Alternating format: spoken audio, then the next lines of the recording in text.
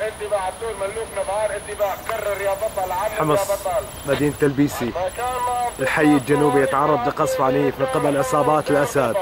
المتواجدين في قرية الكم الشيعي الموالي للنظام 7 2 2015